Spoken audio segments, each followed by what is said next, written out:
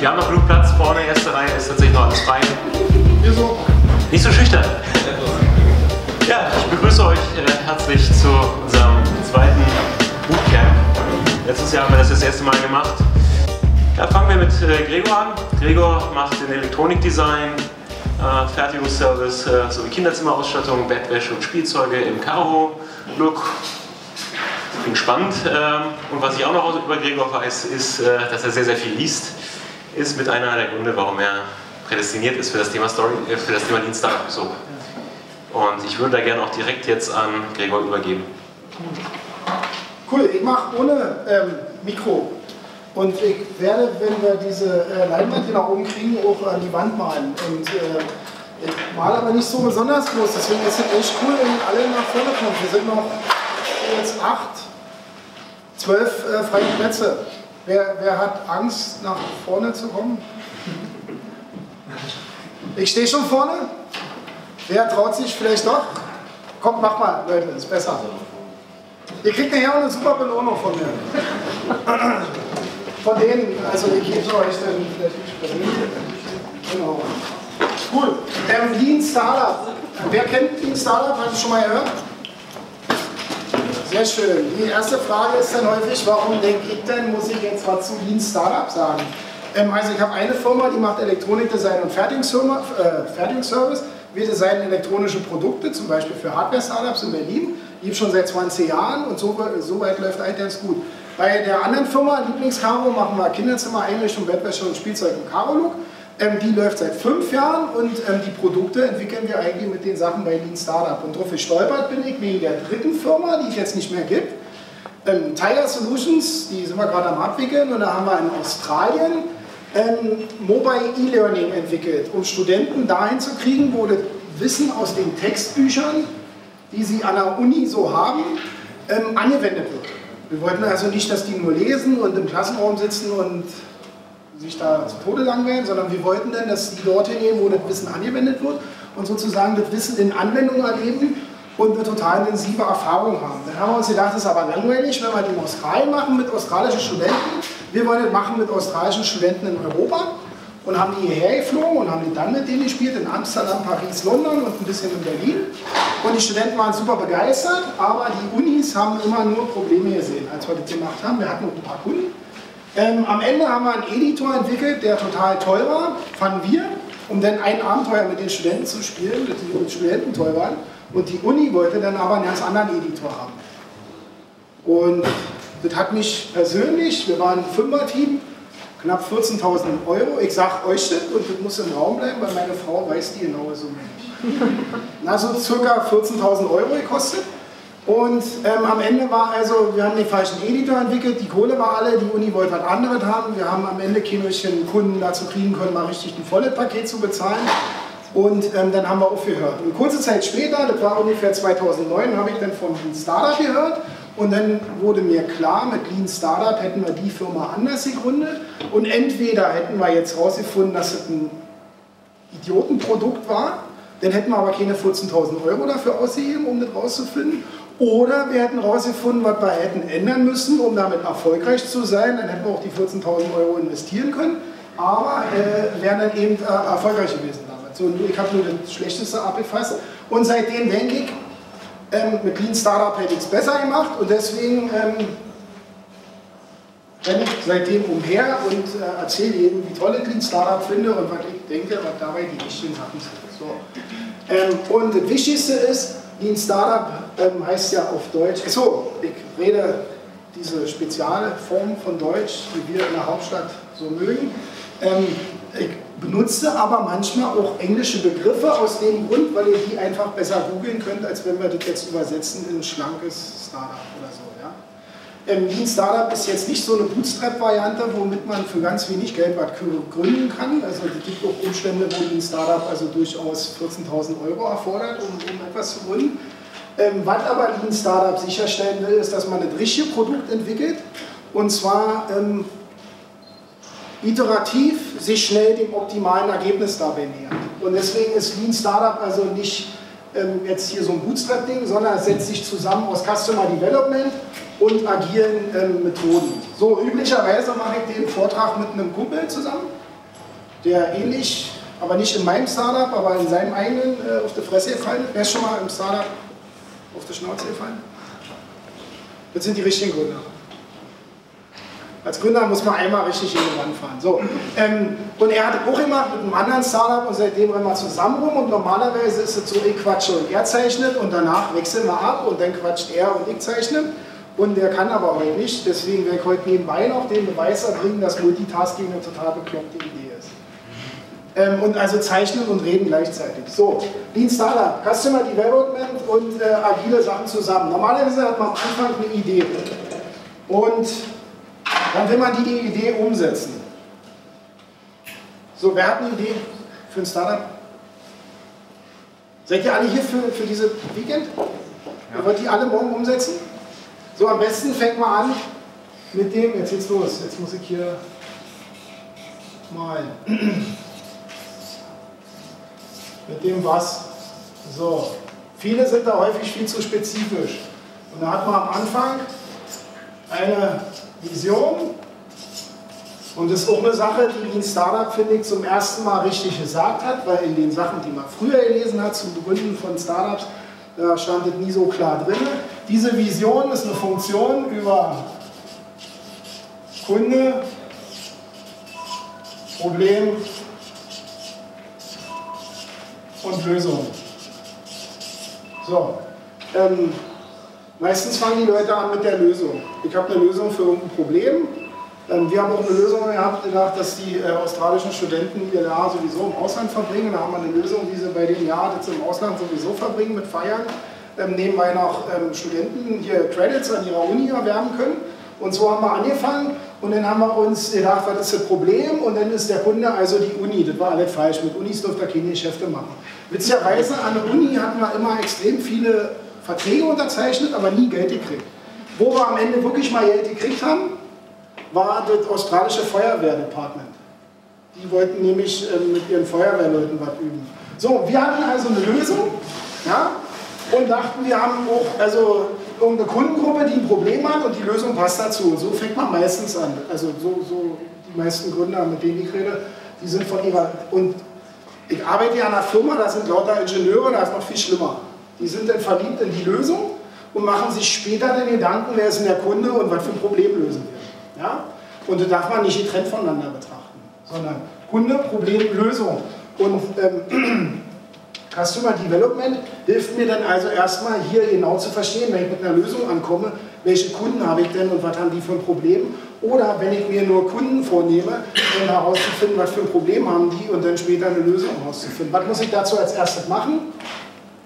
dann mit den Kunden reden. Das hat mir früher auch keiner gesagt.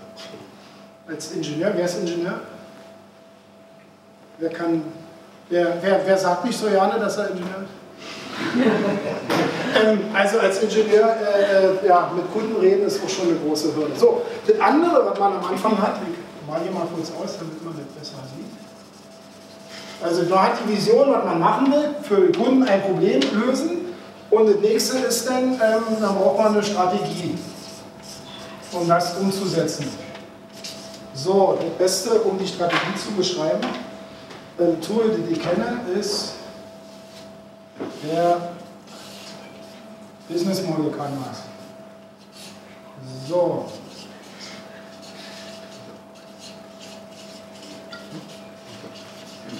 Wer kennt den Business Model Canvas?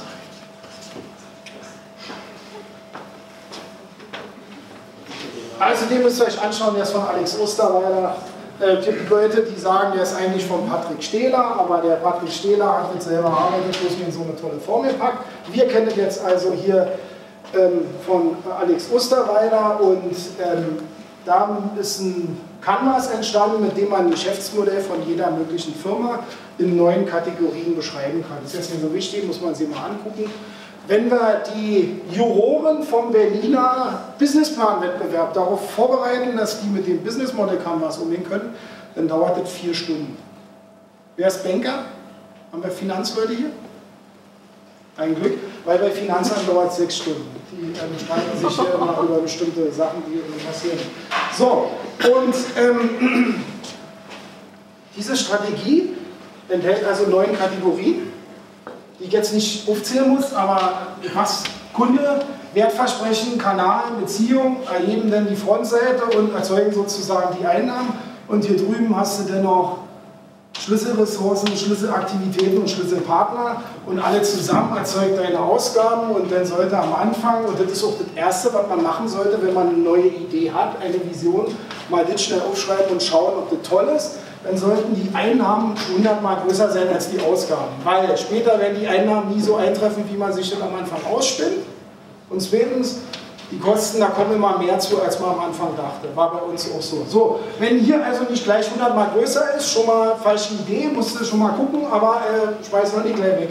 Den gleich zu Anfang an machen. Ähm, wie gesagt, da müsst ihr euch notfalls damit beschäftigen. Dann haben wir hier drinnen eins, zwei, drei, vier, fünf, sechs, sieben, acht, neun,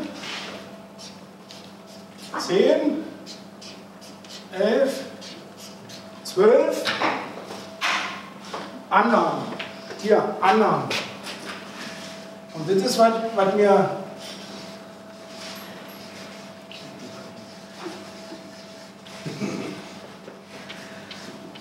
wie Startup das erste Mal gesagt hat. Ich habe dann auch gedacht, wie alle Leute, ich schreibe meinen Businessplan und alles, was ich in den Businessplan reinschreibe, ist ja wahr, weil es steht ja geschrieben. Ne? Also, und dann muss es auch so funktionieren. Wir haben dann die 14.000 Euro rausgehauen, jeder.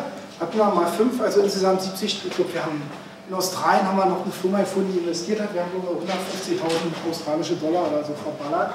Ähm, weil wir dachten, alles, was wir da annehmen, haut hin. Und Lean Startup sagt ganz klar, das sind Annahmen. Das sind alles Annahmen. Das sind die neuen ja? Ähm, wenn ich nur eins hier hinschreibe. Wer hat schon mit einem Business Model Canvas gearbeitet?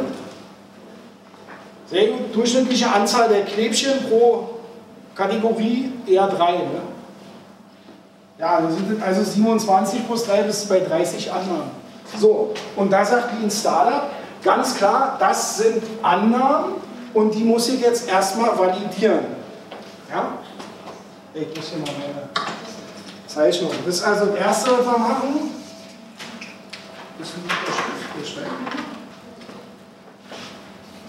Annahmen muss man validieren.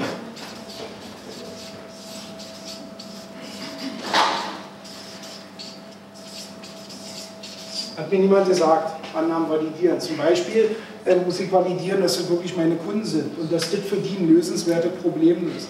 Ja? Ähm, gibt, wie viel, gibt drei Arten, drei oder vier Arten von Problemen. Das schlimmste Problem, auf das du stoßen kannst, ist ein latentes Problem. Ja? Ein latentes Problem ist ein Problem, das ich habe, aber ich weiß es noch gar nicht. Da gab es mal vor ein paar Jahren diesen Tag, da haben alle eine Apple Developer Konferenz angeschaut oder wie das da heißt. Und dann tritt Steve Jobs auf die Bühne und sagt, Leute, Achtung, ihr braucht alle ein Tablet-PC. Und auf immer alle, klar, logisch, ja, ein iPad, gib her. So, kannst du vergessen als Startup, kannst du erzählen, wem du willst, du kriegst als Startup keinen überzeugt. Also ein latente Problem hilft dir nicht. Du brauchst was Besseres. Das nächste ist dann ein passives Problem. Ich weiß, dass ich das Problem habe, aber es ist mir eigentlich total wurscht. Ich mache nichts. Kannst du auch nicht verkaufen. Du musst mit deinen Kunden reden und ein Problem finden, das aktiv ist. Die Leute wissen, dass sie ein Problem haben und sie wollen eine Lösung. Und noch besser, damit du dann die ersten Proben oder, oder Produktideen oder Prototypen bauen kannst, findest du Leute, die haben ein Problem oder eine Lösungsvision. Die wissen, dass sie ein aktives Problem haben, die wollen es lösen und basteln selber schon an der Lösung. Von denen kannst du dann lernen, wie die Lösung ungefähr aussieht. Wie fängst du also an? Du redest, und das ist der erste Schritt. Erster Schritt. Und jetzt kommt extrem geiler Terminus aus der Lean Startup Welt. Ich meine, dauert heute zu lange. Den kann sich jeder merken, oder? Go. Das heißt, get out of the building. Du gehst raus und redest mit den Leuten. Auch das ist ein Unterschied zu der üblichen Vorgehensweise. Wir validieren hier, wir sind uns bewusst, dass die Vision, die wir haben über Kunde, Probleme und Lösungen und die Strategie, wie wir das dann umsetzen wollen, um das in ein super profitables Geschäft zu verwandeln, alles Annahmen sind und diese Annahmen teste ich und validiere die von Anfang an, indem ich aus dem Haus gehe und mit den Kunden rede. Und das heißt hier Get Out of the Building.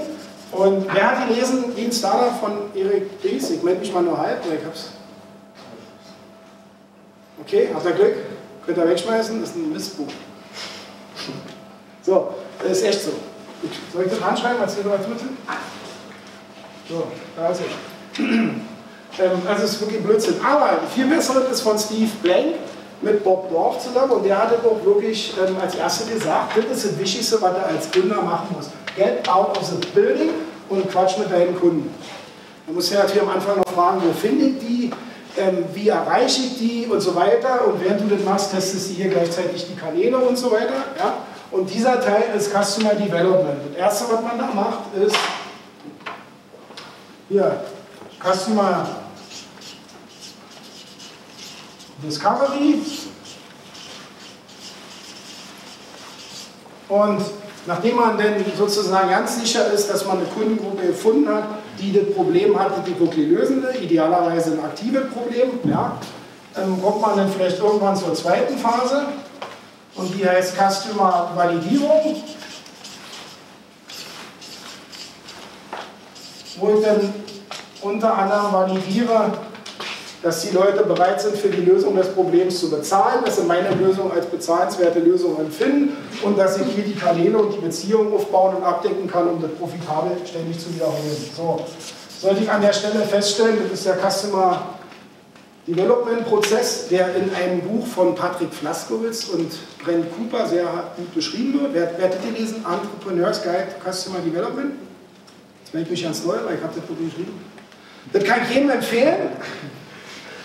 Hauptvorteil ist, es sind nur 70 Seiten. Das schafft man auch äh, zu lesen und zu behalten. So, ähm, wenn man dann feststellt, das haut nicht hin, die Kunden haben das Problem nicht oder sie wissen es nicht, dann geht man halt wieder zurück und äh, äh fängt nochmal an. Wie gesagt, irgendwann findet man ein lösenswertes Problem, wo die Kunden richtig hektisch sind und emotional reagieren, dass das Problem ihnen auf den Geist geht. Und dann überlegst du, was das da für eine Lösung heißt. Das heißt, der ideale Weg ist von oben hier rein in diese Funktion. Ja? Ich fange mit einer Kundengruppe an. Ich möchte gerne mit besoffenen Studenten arbeiten, zum Beispiel in Irish Pub oder so. Ja? Ähm, oder ich möchte nicht gerne mit besoffenen Studenten arbeiten, dann eben keine Irish Pub aber sozusagen du fängst mit der Zielgruppe an und versuchst die zu befragen zu einem Kontext. Wenn, jetzt, wenn du mich fragst, was sind meine Hauptprobleme? Meinen Zug erreichen, meine Socken ordnen und keine Ahnung, für sowas hier bezahlt werden. Ähm, die, die Dinge, also wenn du jeden fragst, kriegst du drei verschiedene Antworten. Du musst die Leute auch zu einem Kontext befragen. Beim Sockenordnen, was ist denn da besonders schlimm? So. Ähm, und dann kriegst du am Ende Probleme die da schon reinhelfen. So, ähm, hier, Customer ähm, Development, dieser Prozess, und in dem Buch ist es hervorragend beschrieben. Und da hat Alex Osterwalder, nachdem er hier ganz viel Geld verdient hat, für Vorträge auf Startup-Weekends und so weiter, gedacht, unter anderem festgestellt, dass, dass es hier äh, bestimmte Dinge gibt, wo die Leute immer gleichzeitig drüber reden, nämlich Zielgruppe und Wertversprechen. Ja? Und das ist ja eigentlich nur unsere Funktion. Zielgruppe und Probleme und Lösungen ergeben ja dann sozusagen die, die Inhalte hier für Wertversprechen. Und das bereden die Leute mal gleichzeitig und hatten ganz viele Fragen an ihn und deswegen hat er dafür auch ein neues Tool erarbeitet. Wer kennt das? Das ist das Value Proposition Canvas, das stelle ich auch nicht weiter vor. Ich sage nur, dass man das in der Phase hier ähm,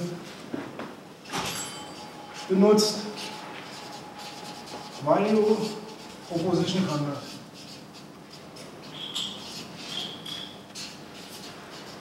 Wer kennt das? Wer hat es schon mal benutzt? Ganz hinten, aber sie kennt es nicht. Sie hat sich bei der, naja. Bei der ersten Frage nicht. Ähm, so, bei dem Value Proposition Canvas, ich stelle ganz kurz vor, ist hier drüben ein Kundenprofil erstelle mit ähm, den Jobs, die der Typ erledigen will, ähm, den Schmerzen, die er dabei hat und dem Nutzen, den er kreieren will. Und dieses Kundenprofil entsteht, wenn ich mit den Kunden rede und das Problem verstehen will. Und dieser Teil, und das ist das Verwirrendste daran, wenn man das anwendet, ist also beobachten und befragen. Ja? Dann entwickle ich daraus ein Produkt und das hier ist dann sozusagen die Value Map, die, die Wertschöpfungslandkarte. Und da versuche ich die Jobs also aufzugliedern, die der Kunde hier erledigt haben will, versuche den Schmerz abzustellen und den Nutzen zu steigern. Ja? Dieser Teil hier ist dann Design. Das ist bei der Anwendung dieses Tools das, was die Leute am meisten verwirrt. Die bringen hier die Sachen durcheinander, man weiß ja nicht genau, wo man was einträgt. Also erst fülle ich das aus, indem ich mit dem Kunden rede und versuche, das Problem zu verstehen. Deswegen habe ich dann sozusagen auf der Seite hier den Kunde-Problem-Fit und auch den muss ich validieren. Hat meine Zielgruppe wirklich dieses Problem? Ja? Oder gibt es in der Zielgruppe ganz viele Leute, die dieses Problem nicht haben? Dann ist vielleicht meine Zielgruppenbeschreibung nicht explizit genug. Ja? Und später hier drüben versuche ich dann ein Problem-Lösungsfit hinzukriegen. Dass also diese Lösung diese Probleme auch löst. Und auch das muss ich dann validieren. Und ähm, das ist sozusagen meine Zielgruppe. Dann sage ich, habe das Problem und der Typ da hat eine Lösung und die haut genau hin, die würde ich akzeptieren. Und das ist jetzt also der Customer Development Teil. Und das Agile daran ist, dass wir hier immer schön viel erstmal versuchen zu monotasken und immer nur eine Sache zu machen, also nicht alle anderen gleichzeitig validieren, sondern mit einer Annahme anfangen und dann nehmen wir die riskanteste Annahme.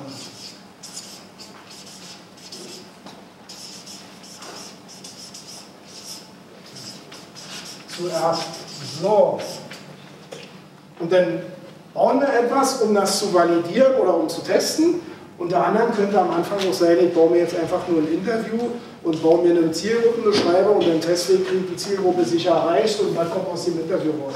Dann messe ich die Reaktion darauf, dann lerne ich daraus etwas und dann mache ich weiter, indem ich entweder das ganze Ding hier wegschmeiße, das kann auch eine gute Idee, also auch ein gutes Ergebnis sein. Ich habe herausgefunden, dass die Idee oder die Vision, die ich hatte, einfach nicht richtig ist und dann spart mir die 14.000 Euro. Ja? Oder ähm, ich sage, die erste, die riskanteste Annahme ist validiert. Dann machen wir jetzt die nächstriskanteste Annahme, validieren die, bauen irgendwas, messen, lernen. Ja? Und äh, bis ich am Ende alle durch habe und sagen kann, ich habe ein Produkt Marktfit, ich habe eine Zielgruppe identifiziert, die dieses Problem als lösenswert betrachtet, meine Lösung als Lösung des Problems betrachtet mein Geschäftsmodell haut hin und die Leute schmeißen mir Geld hinterher, ich soll eigentlich die Lösung liefern. Dann halt Produktmarktfit und dann bin ich raus aus wie ein Startup und bin dann sozusagen in dem, was in den anderen Sachen sonst so berichtet. So, und hier bei den Experimenten ist nur zu beachten, ja, ähm, Fokus, sich immer nur um eins kümmern, und die sollten so gestaltet sein, dass man wenig Geld braucht und auch schnell was rausfindet. So. Wir haben 14.000 Euro in 18 Monaten, also meine 14.000, insgesamt waren halt 70.000 oder so weiter, ähm, in 18 Monaten verballert und dann herausgefunden, dass das Produkt oder die Vision, die wir hatten, nicht funktioniert hat. So. Ich bin fertig, ich Club befragt, genau. Ich sehe nicht mehr, was ich noch machen kann. Das ist wie ein Startup in kurz beschrieben. Das ist zusammengesetzt aus Customer Development und agilen Methoden. Agile Methoden ist iterativ optimale Ergebnis finden in schnellstmöglicher Zeit, ähm, sich auf ein Experiment zu konzentrieren, sich darüber bewusst sein, dass das alle Annahmen sind, was ich mir ausdenke. Und Customer Development heißt sofort rausgehen und mit den Kunden reden, zum Beispiel im Rahmen eines Startup Weekends. Und ähm, beobachten, die Zielgruppe zu einem Problem befragen und dann herausfinden, wie sich das Problem exakt manifestiert, um dann ein Produkt zu entwickeln, das dieses Problem exakt löst, die Schmerzen abstellt, den Nutzen steigert und den Job erledigt. Okay? Jetzt spielen wir eine Startup-Simulation mit euch, idealerweise in Viererteams. Die wird ein bisschen lustig und hochaktiv und dauert 20 Minuten. Und danach kann ich euch dann mal sagen, was das hier alles erklärt, in welcher, ähm, in welchem, wie sagt man, Mindset, in welcher Geisteshaltung ihr euch befinden muss, damit das alles funktioniert. Okay, so, und das Spiel, wer hat schon mal gespielt? Wer kennt, wer kennt ein Spiel, das mit Marshmallow im Namen hat? Cool, dann darfst du niemandem sagen, dass du das schon mal gespielt hast. Gut, ähm, wir spielen hier immer in diesen Dreier, nee, Vierer- oder Fünfer-Paketen. Okay? Gut. Ähm, wahrscheinlich am besten hinten an den Tischen. Oder hier. Hä? Was? Ah. Ich habe mir quasi mit meinem Team gesprochen. Gut. Genau, komm, erste Team. Genau. Ihr seid erste. Ja? Ihr seid, macht ihr zu sechs? Ja? Ihr seid das erste Team. So, wir hier. Ihr seid das zweite Team. Ihr zu dritt? Ich habe uns da ein bisschen meins. Ihr zu dritt. So, ihr zu viert. Achso. Zu viert. Nee, wir haben jetzt gesagt,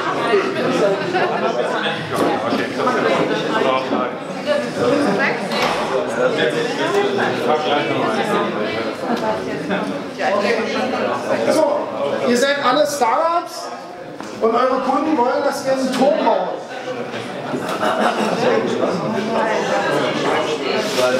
Und zwar soll oben auf dem Turm ein Marshmallow rauchen. Ihr habt dafür 18 Minuten Zeit. Ihr kriegt 20 Spaghetti, 1 Meter Schnur. Jetzt nochmal, ihr kriegt 20 Spaghetti, 1 Meter Schnur, 1 Meter Kreppklebeband, ein Marshmallow und 18 Minuten. Die Gewinner kriegen dann das Buch, das ich empfohlen habe. Von Patrick Flaskowitz und Brent Cooper. Ja? Ein Tor. Und der, ja, der Turm. Und der Turm muss am Ende zwei Minuten stehen, ohne dass jemand den festhält. Und gewinnen tut denn der höchste Marshmallow. Muss der komplette Marshmallow umschauen. Ja, der komplette. Und ihr dürft den Turm nicht an der Decke verankern. Genau. Hier, ähm, ja, kleb irgendwo hin.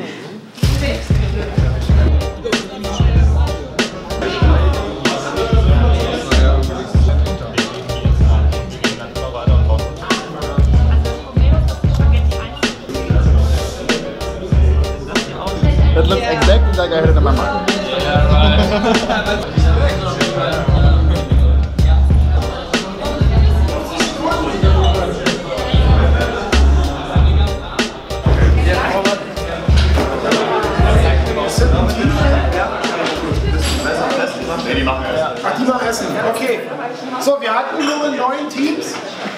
Neun Teams. Ja. Wenn ich es jetzt richtig verstanden habe, haben zwei oder drei am Ende eine messbare Höhe erzählt. Ja? Alle, anderen, alle anderen haben den Fehler gemacht, meines Erachtens, und haben ganz kurz vor Schluss ihr Produkt getestet. Oder? Wer hat denn Produkt, wer hat den Marshmallow mal aufgemacht in Minute 5 oder so? Die meisten erst kurz vor Schluss überlegen ganz auf, oh, oh, jetzt, oh, die Zeit läuft ab, mach mal ein Marshmallow auf. Ja. Ähm, habt, ihr, habt ihr bei anderen Teams geschaut, was die machen? Ja. Darf man als Startup machen? Lass doch mal gucken, was der Wettbewerb macht. Ja? Okay, dieses Spiel wird genommen in der Ausbildung normalerweise für Scrum. Scrum ist ähm, ein Unterprozess hier unter Deckname Agil. Ja? Ist einer der, der Prozesse, die man äh, anwendet, wenn man äh, agil Software entwickelt oder agil Hardware entwickelt. Und ähm, die Scrum-Typen, das sind Ingenieure, die haben alle naja, ein paar Issues so. Und was die machen ist, die fragen die Teilnehmer ab, welchen Beruf habt ihr?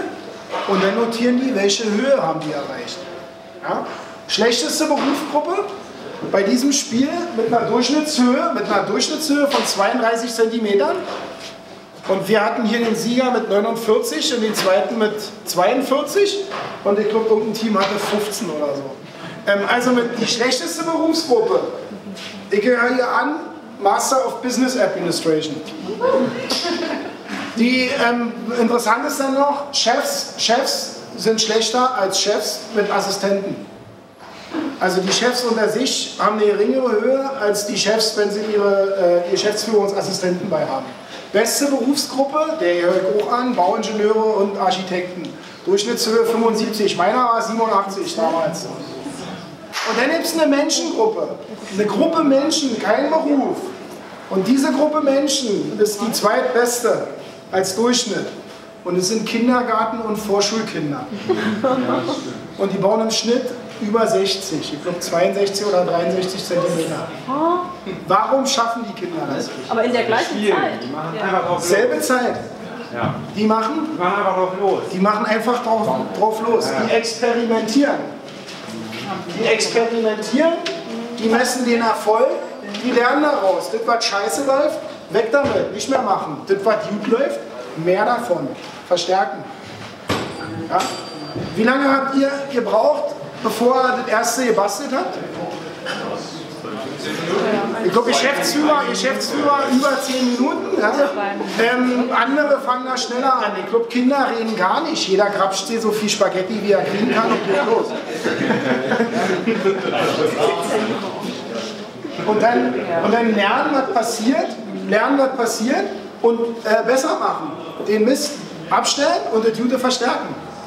Keep doing, do more, do less, ja, so eine Sache. So, und ähm, das ist genau die Einstellung, die ihr haben wollt, äh, die ihr haben müsst, damit das hier funktioniert. Die Einstellung von kleinen Kindern. Ihr müsst nicht lange darüber reden und das Problem verkopfen. Ihr müsst mit den Leuten reden, die das Problem haben, mit den Kunden. Und ihr müsst sofort anfangen zu experimentieren. Wo finde ich die Kunden? Wie kann ich mit denen ins Gespräch kommen? Wie kriege ich mehr Kunden ins Gespräch, damit ich über das Problem reden kann? Wenn ich eine Lösung habe, dann zeige ich die den Kunden. Dann gucke ich, was die Leute gut finden und dann mache ich mehr davon und was sie schlecht finden, versuche ich abzustellen. Und zwar in einer Umgebung, in der ich experimentieren kann. In der also meinem Team nicht rumgeschrien wird, wenn irgendwas schief läuft, sondern in dem man sich freut, wenn man herausgefunden hat, was scheiße ist. Ja? Äh, Thomas Alva Edinson hat äh, diese Glühbirne da erfunden. Meines Erachtens hat er dabei zwei Millionen Arten entdeckt, welchen Draht man nicht nehmen darf. Bis sie dann am Ende diesen Draht hatten, ich glaube Wolfram, ähm, das, mit dem sie eine Glühbirne zum äh, äh, Leuchten gebracht haben und zuverlässig und die ist dann nicht explodiert. Ähm, der hat sich gefreut, dass sie vorher so viele Arten entdeckt haben, wie nicht funktioniert. Diese Einstellung muss man haben. Und dafür war dieses Experiment. So, und weil wir ja den Gewinner schon vergessen haben und die Höhe auch so angezweifelt wurde, weil ihr habt die Spaghettis unten festgeklebt, ne? hat die äh, Spielleitung und das Investorenteam beschlossen, dass ihr alle das Geschenk kriegt und das wird am Ende nach dem Essen, wenn ich das richtig verstanden habe, nach dem Essen ähm, blenden wir äh, irgendwelchen Code hier ein und dann müsst ihr den irgendwo eingeben und dann habt ihr also eine E-Book-Variante von diesem Buch. Und äh, das war mein Beitrag, jetzt durfte alle essen.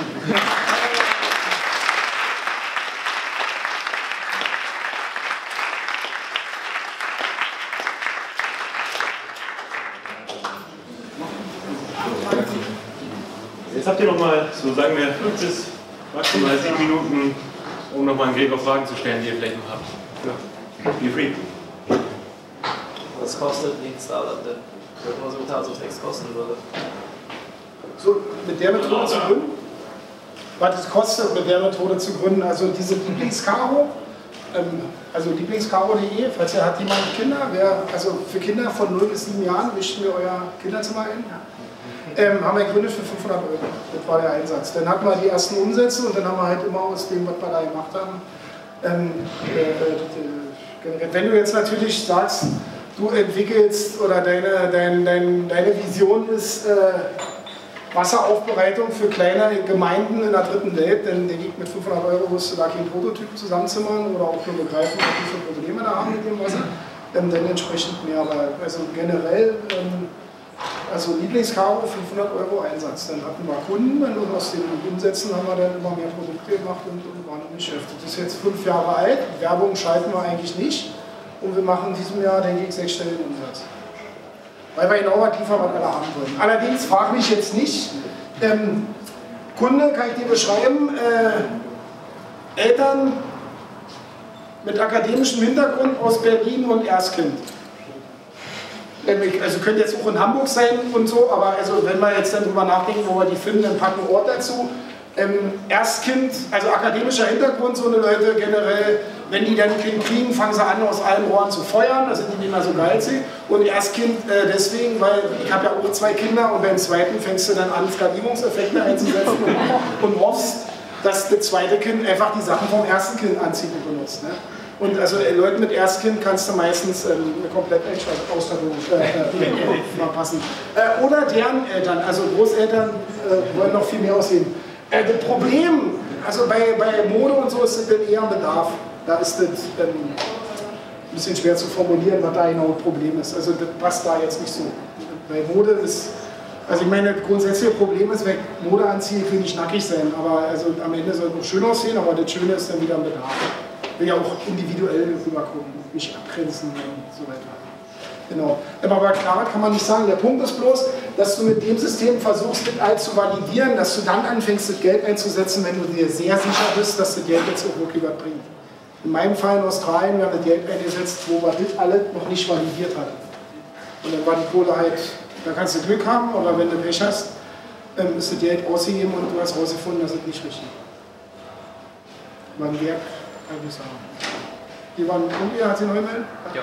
Äh, wie finde ich meine riskanteste Annahme?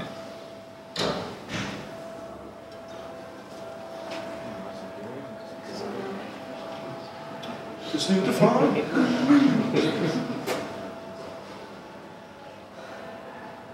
Ich würde sagen, wenn du keinen weiteren Anhaltspunkt hast, ähm, ist das eine lösenswerte, also ist das, ist das die Lösung für das Problem. Ich würde sagen, dann ist es hier unten.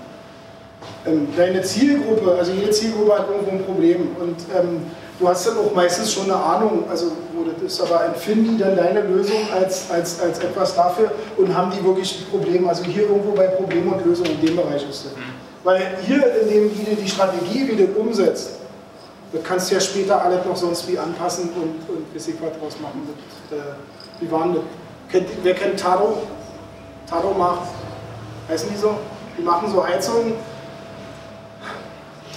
hast du so ein Gerät, baust dann deine Heizung an und dann, dann, dann kriegt das Gerät zum Beispiel, ob, du, äh, ob dein Handy zu Hause ist oder weit weg und fährt dementsprechend die Heizung in Buchung, habt ihr noch nicht gehört? Eines der erfolgreichsten Hardware-Startups in Deutschland. Und ähm, Tado hat am Anfang hier in dem Bereich gedacht, ähm, sie verkaufen am besten eine Flatrate. Die schenken dir das Gerät, die Hardware, die du da installieren musst, an deiner Heizung irgendwo und ähm, kassieren dann pro Monat 15 Euro und dann machen die das für dich und sparen nur noch ein bisschen Strom oder Heizungsenergie oder wie was. Und nach einer Weile haben sie festgestellt, und das ist dann halt hier eine, eine Annahme gewesen, dass manche Leute diese Flatrate nicht haben wollen, sondern die wollen lieber ein Gerät kaufen für 400 Euro und das dann drei Jahre benutzen und vielleicht irgendwann mal was nachkaufen. Und dann haben sie das gleich geändert, aber das hat an dem eigentlichen Kundenproblem Lösung hat das nichts zu tun, sondern nur, wie bringe ich es denn unter die Leute. Deswegen würde ich sagen, die riskanteste Annahme muss irgendwo hier sein.